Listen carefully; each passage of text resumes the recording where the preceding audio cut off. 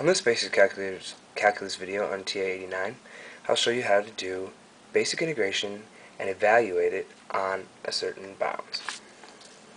So you're given the function, or the uh, integral of 3x squared dx evaluated from 0 to 4. Simply select the calculus menu from the home screen, select integrate, enter your function,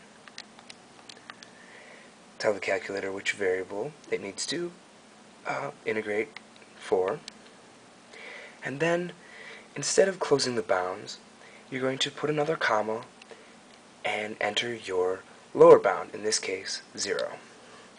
Another comma, enter the upper bound, close the parentheses, and complete.